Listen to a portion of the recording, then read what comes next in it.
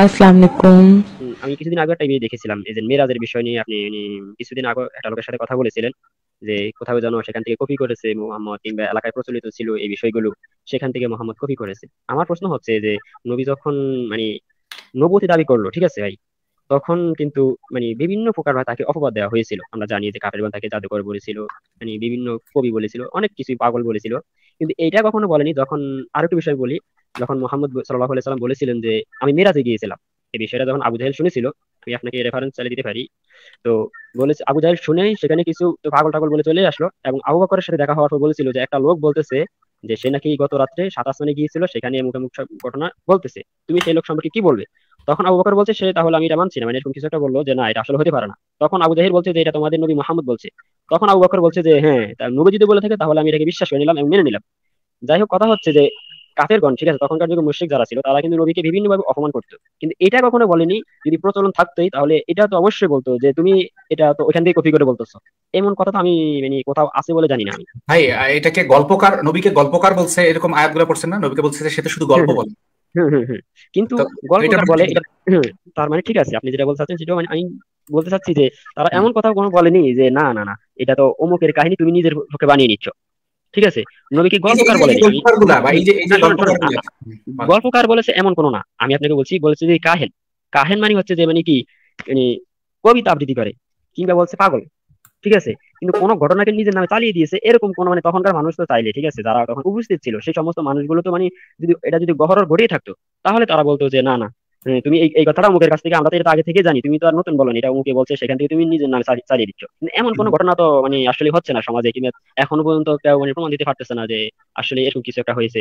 তারা সেই কথাটার সাথে সাথে প্রতিবাদ করেছে। হ্যাঁ এমন তো হয়নি তাহলে এখন আপনারা কেন সেই কথা ঠিক আছে ঠিক আছে ঠিক আছে। আপনার পজিশনটা আমি বুঝতে পারছি আপনার পজিশনটা আমি বুঝতে পারছি আমি আপনাকে তাহলে একটা কাজ করি। একটা ফুরকান কত নাম্বার জানি ভাই? পঁচিশ ছাব্বিশ কিছুটা হবে।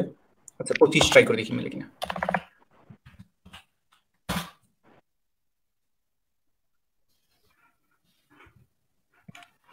ভাই এটা এই আয়াতটা তো আপনি বোধহয় আমার সাথে আরও ভালো জানবেন তাই না? ভাই সুরা ফুলকান হ্যাঁ সুরা ফুলকানের পাঁচ নাম্বার আয়াত এই যে দেখেন তো ওয়াকালু ওয়াল ভাই একটু পরের নাম একটু বুঝেন। আসাতিল আউয়ালিনা তাকতুবুনা ফিহা তুতলা আলাল আলাইহি কি কিছে আচ্ছা আর বড় করব? একটু বড় করেন দেখি। আচ্ছা আচ্ছা এইবার দেখেন তো। ওয়াকালু আসাতিল আউয়ালিনা কাতাবাহা ফিহি তুমলা আলাইহি বুকরাতা ওয়াসিলা বুকরাতা ওয়াসিলা হ্যাঁ। তাহলে তারা বলতো যে আসাতিরুল আউয়ালিনা এটা হচ্ছে পূর্ববর্তীদের কথা ঠিক আছে? পূর্ববর্তীদের কথা এরকম। মানে আমার কথা হচ্ছে যে যেমন ধরুন পূর্ববর্তীদের কথা কীরকম যেমন ধরুন যে নবী আসছিল ঠিক আছে? এমন অনেক ঘটনা কি তখনকার যুগে প্রচলন ছিল যেমন নবী সেই সমস্ত কথাগুলো হতে পারে আরেকটা দেখেন দুইটা আয়াত দেখাবো মোটে। দুইটা আয়াত নিয়ে একবারে বললেন মতামত দিয়ে তাহলে আরও সুবিধা হবে আপনার জন্য। দেখেন এই আয়াতটা। এই যে আলাইহি আয়াতুনা ক্বালা আসাতিরুল আউয়ালিন। আর যখন তাদের কাছে আমার আয়াত তেলাওয়াত করা হয় তারা বলে এটা হচ্ছে পূর্ববর্তীদের কথা। তাহলে তাহলে আপনি যে আপনি যে জিনিসটা চাচ্ছিলেন দেখতে সেই জিনিসটা অলরেডি কোরআনেই আছে ভাই যে তারা তো কেউ বলতো। আপনি আপনি আমার কাছে জিজ্ঞেস করেন তারা কেউ না কেউ তো বলতো যে এগুলো তো পুরান কালের কাহিনী তো তারা কেউ বলল না কেন? তারা তো বলছে ভাই কোরআনের মধ্যে সেটা বলা হ্যাঁ আমি আপনাকে বলছি আমি একটু বলতে চাচ্ছি যে আমি বলতে চাচ্ছি যে বিষয়টা যে তারা তো অবশ্যই সমস্ত কথাগুলো বলেছে। এরকম বলেছে? যেমন ধরুন নবী বলেছিল যে মুসা আলাহ ইসলাম গঠন এরকম এরকম, ফেরাউনের গঠন এরকম এরকম দিয়েছিল এরকম দিয়েছিল। সেই সমস্ত কথাগুলো তখনকার মানুষরা জানতো। যেমন মানুষগুলো প্রশ্ন করেছিল যে দুলকার নাইন সম্পর্কে সেটা হচ্ছে সুরা কি জানা তাওবা থেকে, হয়, সুরা তাওবাতে আছে যে দুলকার নাইন সম্পর্কে জিজ্ঞাসা করেছিল নবী, সেই সমস্ত কথাগুলো বলেছিল। তারা বলতেছে এই সমস্ত কথাগুলো আমরা জানি, এগুলো আগেরকার কথা। এখন কথা হচ্ছে আমি কিন্তু এসব বিষয় বলছি আমি বলছি যে মিরাজের যে ঘটনা আপনি বলছেন কোন কি যেন আর যে মিরাজ নায়ক নাম যেন বললেন যদিও সেটা জানি না আমি। ওই সেই কথাটা মানে হ্যাঁ যাই হোক তারা তো তখনই বলতো যে আর যে মিরাজের ঘটনা তো আমরা জানি তুমি এটা কেন বলছো? এমন কোন কোন রেফারেন্স কি আছে কিনা? হ্যাঁ আপনি এগুলো রেফারেন্স দিচ্ছেন আমি হ্যাঁ আমি এগুলো রেফারেন্স দিচ্ছেন। এগুলো আমি বলতে চাচ্ছি যে এগুলো হচ্ছে এগুলো আপনি ওইটার জন্য খাস করে নিজেন এমন কোনো হতে পারে না। কারণ এটার জন্য খাস করে যদি হতো তাহলে তারা বলতো যে এই ঘটনা আমরা জানি। মানে মিরাজের ঘটনা উপলক্ষে এই সমস্ত কথাগুলো থাকে তাহলে আমাকে দেখান। আচ্ছা মানে মিরাজের ঘটনা উপলক্ষ করে যদি থাকে দেখি। একটু আগে কিন্তু আপনার আপনার দাবিটা কিন্তু অন্য ছিল। দাবিটা কি ছিল? যে এই যে নবী মোহাম্মদ যে কথাগুলো বলছে যে গল্পগুলো শুনেছে আমি বলছি তারা কিন্তু এই সমস্ত কথাগুলো বলতো কিন্তু আরজিমি রাতের সেই ঘটনার বলেছে? ভাই আপনি মনে করে দেখেন একটু আগে এই এখানেই আছে ভিডিওতেই কিন্তু থেকে গেছে আপনার আমার কথাগুলো যে আপনি আমার কাছে জানতে চাইছিলেন। বলেও থাকি আমি যদি বলেও থাকি হ্যাঁ আমি যদি বলেও থাকি মানে এই না যে আমি বলছি মানে যে সেটা একবার হয়ে যাবে এরকম আমার মধ্যে ভুল কথা বের হয়ে যেতে পারে। আচ্ছা ঠিক আছে আমার ভুল টার্গেট হচ্ছে ওইটাই।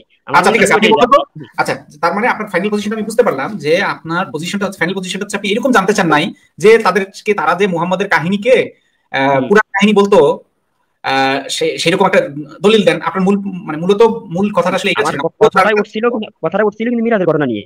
অন্যান্য বিষয় নিয়ে ওঠে হ্যাঁ, হ্যাঁ হ্যাঁ। এখন আমি বুঝতে পারলাম যে আপনার মূল কথাটা আসলে ছিল মিরাজকে নিয়ে। যে মিরাজ বিষয়ে এই কথাটা একই কথাটা বলছে কিনা।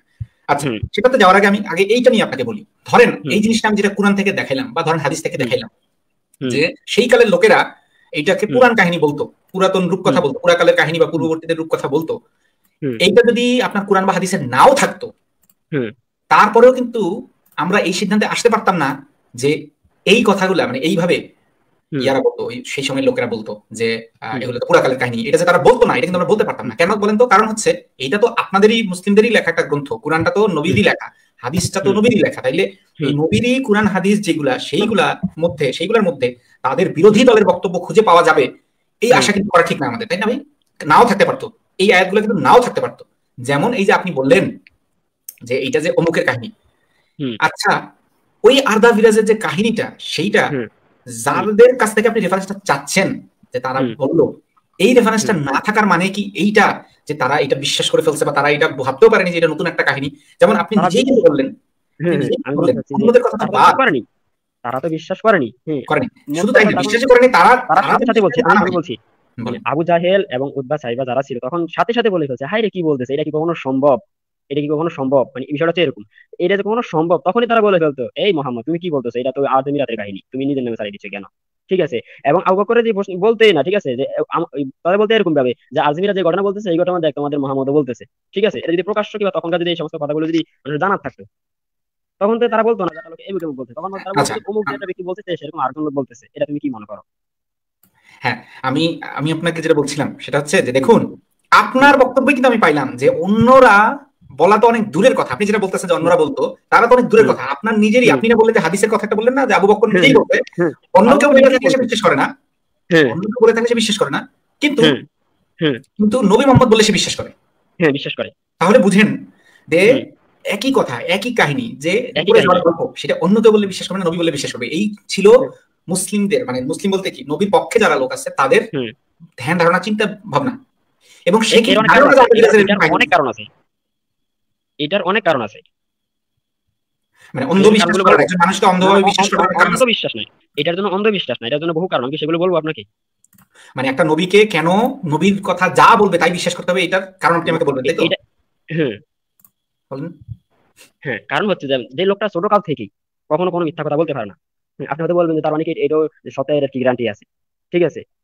এটা সত্য হতে পারে একশো পার্সেন্ট কারণ যে লোকটা নবতী দাবি করতেছে, ঠিক আছে, স্রষ্টার পক্ষ থেকে এমন এমন কিছু বলতেছে যেগুলো একবার অলৌকিক, ঠিক আছে। তাহলে সে কেন মিথ্যা কথাগুলো বলবে? তার জীবনে তো কোনো প্রকার মিথ্যা কথা পাওয়া যায়নি। কাতের তার কাছে টাকা আমানত রাখতো। যারা যুদ্ধে যাচ্ছে তার বিপক্ষে লড়ার জন্য, ওই যুদ্ধে যাওয়া মুহূর্তে তার কাছে টাকা রেখে যাচ্ছে আমি যদি ফিরে আসলে তোমার কাছে এগুলো নিয়ে যাব আবার।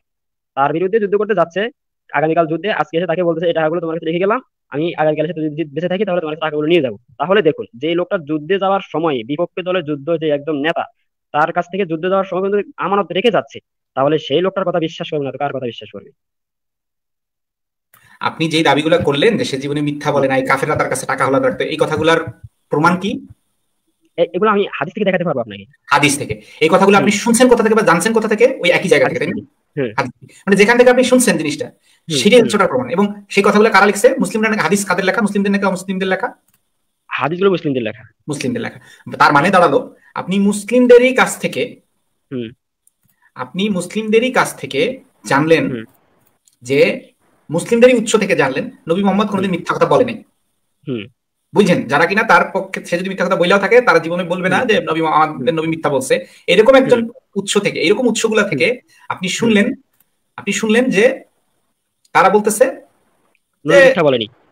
নবী কোনোদিন মিথ্যা কথা বলেনি। আপনি আমাকে বলেন তো এই একই কাজটা যদি আজকে আজকে যদি এই একই কাজটা হিন্দু ধর্মের কেউ এসে বলে সেম কাজটা করে।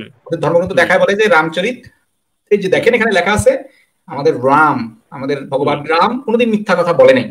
বলেনি প্রমাণ কি? আমাদেরই লেখা একটা বই রাম বা ধরেন রামায়ণ। রাম কোনোদিন মিথ্যা কথা বলে প্রমাণ হচ্ছে রামায়ণ। আপনি মানবেন ওই জিনিসটা। আমি আপনাকে তার আগে বলতে চাচ্ছি যে আপনি কি বলতে চাচ্ছেন এর মানে যে নবীর বিপক্ষে কে বলেছে সেই সমস্ত কথাগুলো আমাদের কাছে আসেনি। খালি পক্ষের গুলোই আসছে। নবীর বিপক্ষে তারা বলছে সেই সমস্ত কথাগুলো কিন্তু আমাদের কাছে পৌঁছেছে। হ্যাঁ এই যে যেমন একটু আগে যেটা দেখালাম কোরআনের মধ্যেই সেটা আছে। কেন সেটা মানে তার মানে কোনগুলো রাখছে জানেন? কোনগুলো? যেগুলোতে তাদের মনে হয়েছে যে এটা কোনো ব্যাপারই না তাদের জন্য শুধু সেগুলো রাখা হয়েছে। আচ্ছা আপনি তাহলে ব্যাপারগুলোটা দেখান। যেগুলো ব্যাপার সেগুলো থেকে একটা দেখান। আমি এখন কি ভাই দুই হাজার বছর মানে চোদ্দশো বছর পর আমি কোথা থেকে সেগুলো এনে দেখাবো? যেগুলো এক্সক্লুড করে যেগুলোকে রাখি নাই। সত্য না হলে শোনেন আমি মানে সত্য না হলে এত বছর পর্যন্ত চুল পরিমাণ পরিবর্তন হতে পারেনি। আপনি সেই বলছে চুল পরিমাণ কোনটার চুল পরিমাণ পরিবর্তন হয়নি ভাই? চুল পরিবর্তন হয়েছে। পরিবর্তন হয় নাই? আপনি শিওর শিওর আমি কথা পাল্টাবেন না তো? একটু পরে কথা পাল্টাবেন না তো?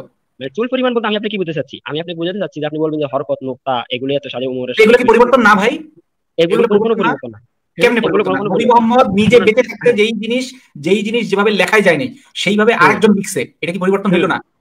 আমি যদি বলি যে আমি গত গতকালকে মানে আপনার বৃহস্পতিবার দিন লাইভ করেছি একজন সাথে সেটা করেছি কি জানো লোফা রহমানের ফেস থেকে। আজকে দেখতেছি তার নিজের ফেস থেকে। তার মানে ব্যক্তি একজনই। মূল কথা কিন্তু একটাই। ঠিক আছে? মূল কথা আল্লাহর কথা সেগুলো একবারে অথেন্টিক আল্লাহ নবী যেইভাবে আমি আপনাকে বলি। শোনেন আমি আপনাকে বলছি তাহলে হয়তো বিষয়টা এরকম যে আমরা এখন অর্থ লিখতেছি হুম অর্থটা তাহলে পরিবর্তন ওইটাও পরিবর্তন ওই পরিবর্তন এটা তো এখন আপনি বলতে পারেন না। আপনি বলবেন যে কথাগুলো মূল উদ্দেশ্য লক্ষ্য যেটা আপনি বলার সময় বললেন আপনি তো বলার সময় অন্য কথা বললেন আপনি তো বলার সময় বললেন যে কোরআনের বিন্দু পরিমাণ পরিবর্তন হয়নি। আপনি তো বলেন যে কোরআনের মূল কথার বিন্দু পরিমাণ পরিবর্তন হয়নি। শুনুন আমি বলছি যে আমি প্রথমে কিন্তু একটা কথা বলেছিলাম যে আমি যে বলছি সেটাই যে সঠিক হয়ে যাবে কিছু আমার দেওয়ার মুখ দ্বারাও কি ভুল দিয়ে একটা কথা বেরিয়ে যেতে পারে? তার মানে ওই না যে ওইটাই সঠিক।